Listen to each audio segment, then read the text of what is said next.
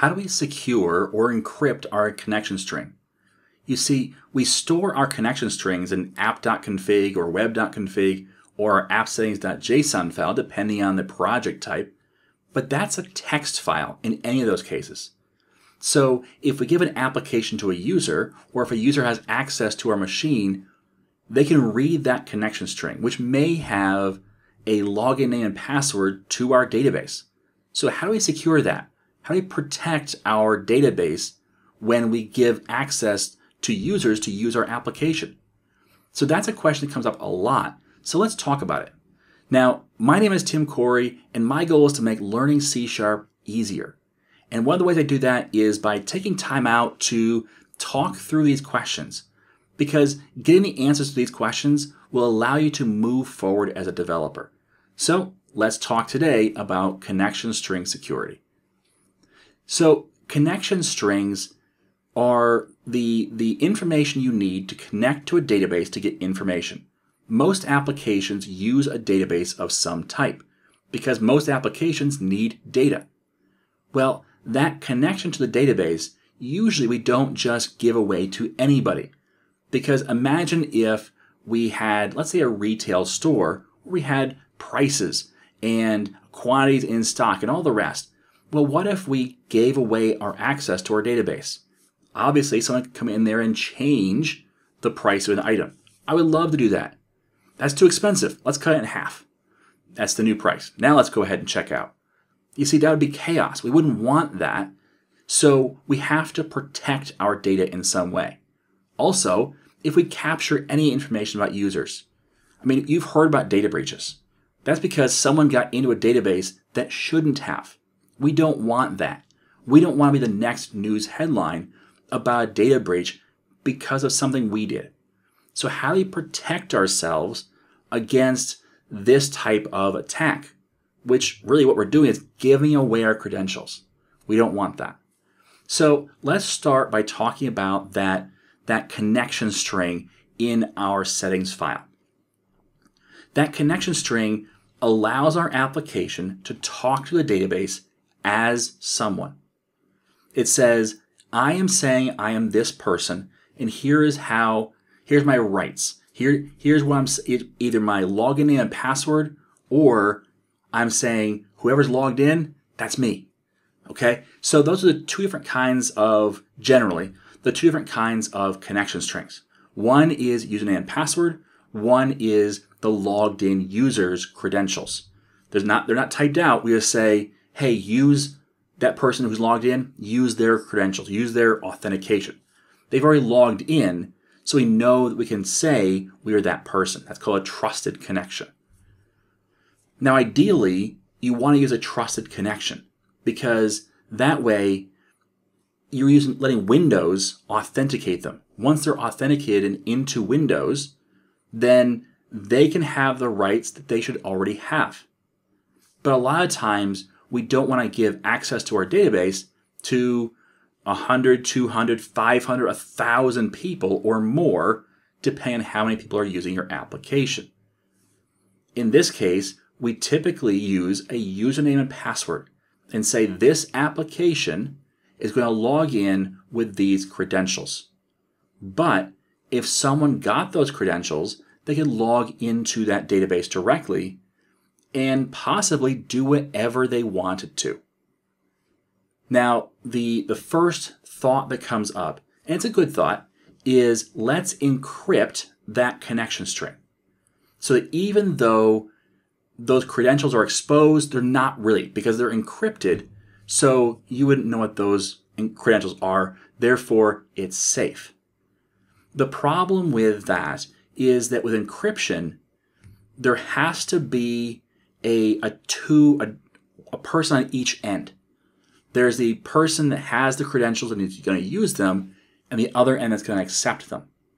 So what's going to happen is if you encrypt those credentials, you're encrypting them with the application, the application on their machine.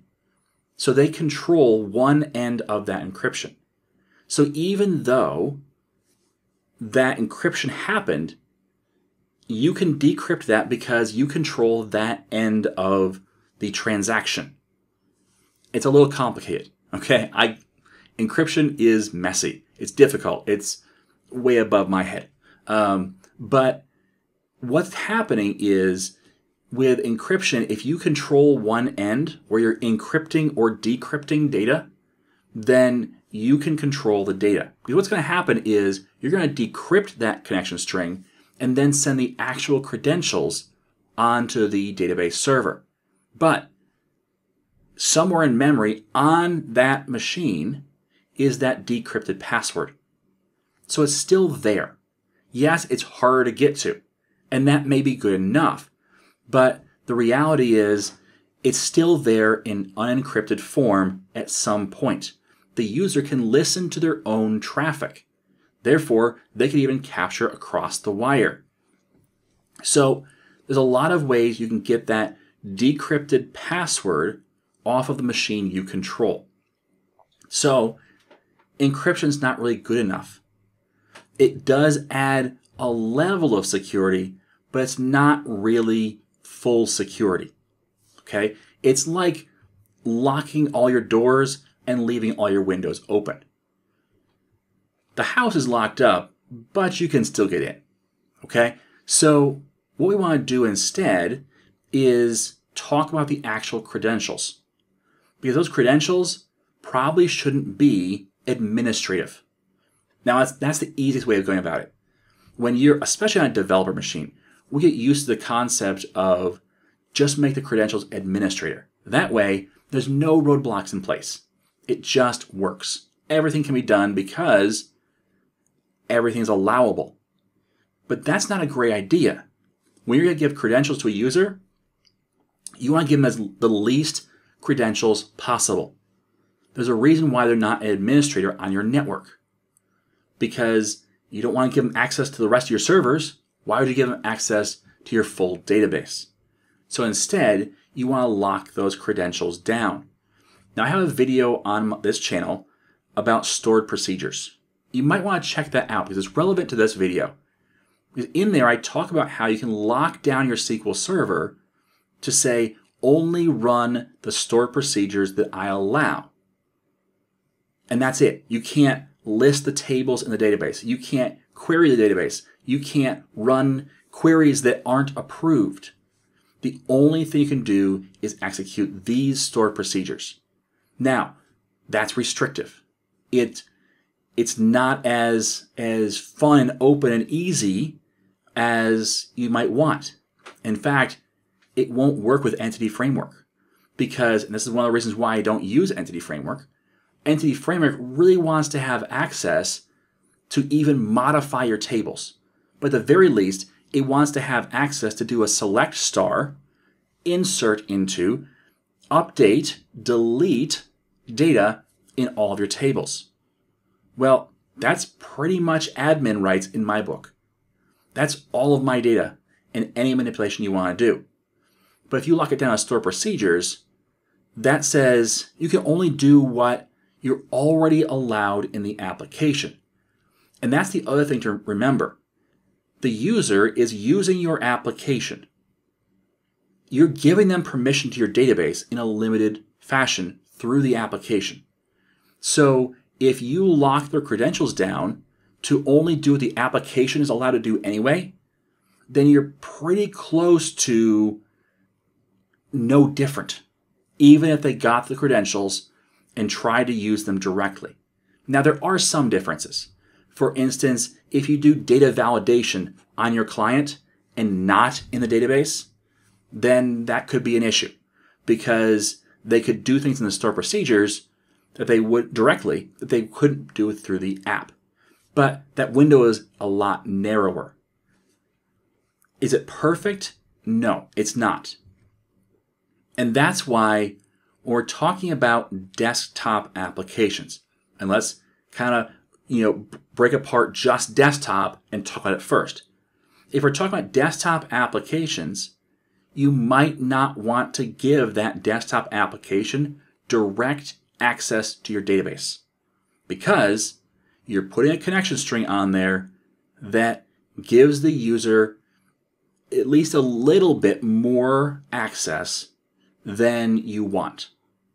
Now, again, I would encourage you use that lockdown to only those store procedures, and at least it's practically the same as if they use the app.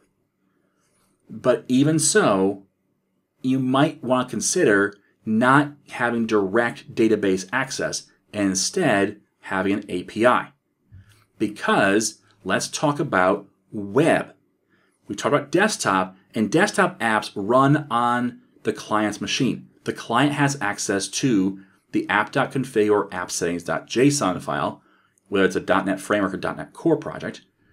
They have access directly to that file. And even if you put the file into the application, which kind of negates the purpose of the file, even if you do that, they can still get access to that data. So the user controls their own machine. But with a web application, the user does not control the machine. Instead, an administrator does. If you have people on your web application server that shouldn't be there, you've already lost a security battle. Because if they have access to the server, it's kind of over. You kind of already have people inside the house, and you're saying, yeah, but you can't come in the bathroom. Okay? They're already in the house. There's already a problem. They can already take stuff. So, what you want to do instead is you'll make sure that if it's on a web server, that you just lock down the server like you normally would. And then it can be in clear text in that appsettings.json file or web.config file. And it's okay. It's safe because you have all the safety around it. Now, again, I would still encourage you to put that layer of security up another level and lock that down so it's not an administrator. It just has access to the store procedures or whatever in order to do its job. Because don't forget, we also have other attacks that come through your application. For example, a cross site scripting or you have SQL injection. There's a fun one.